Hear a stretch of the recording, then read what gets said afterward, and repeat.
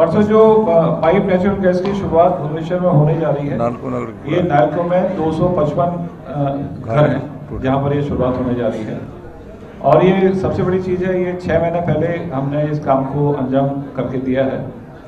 और धीरे धीरे करके इसको हम पास के जो इलाके हैं एलआईसी कॉलोनी है रेलवे कॉलोनी है और प्राइवेट जो क्वार्टर है स्लोली स्लोली हम इसको आगे लेके जाएँगे।